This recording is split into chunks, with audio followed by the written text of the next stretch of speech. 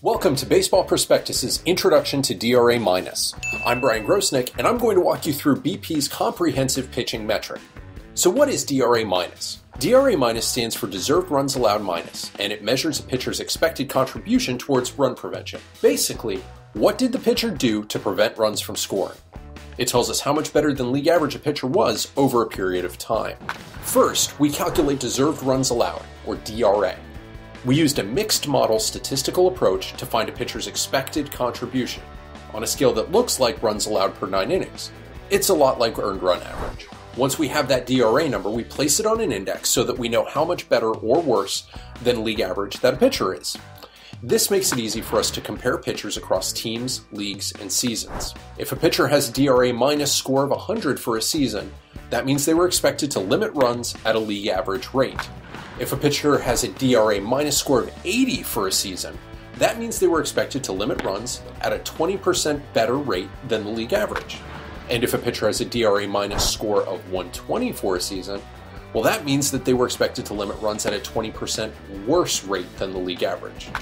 The lower a DRA minus score, the better it is for a pitcher, just like with ERA. DRA examines all important aspects of a pitcher's output and assigns the appropriate credit for every event. Then, our model corrects for important contextual factors, like park effect, and the quality of opposing hitter, among other things. All of this takes place while the model tries to eliminate the effect of defense on the pitching events. Not only is DRA minus great at examining all factors involved in a pitcher's performance and assigning the right values in context, but it has also been tested as more reliable, descriptive, and predictive than other public statistics that try to measure overall pitching performance. More than earned run average, fielding independent pitching, or any other rate statistic, DRA minus does the best job of telling you how effective a pitcher is now, as well as how effective a pitcher is likely to be tomorrow. So, how can you find DRA minus on baseballprospectus.com? First, it's in a prime spot on all of our player cards. Just search for any player on the site, click on their player card, and you can see their DRA minus for all seasons near the top of the page, along with all the other statistics you're used to seeing. This also forms the basis for a WARP metric for pitchers, which provides a comprehensive look at a player's overall value.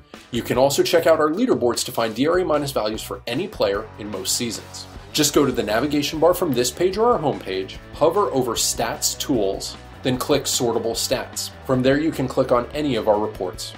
For seasonal DRA minus for all pitchers, use the season totals link.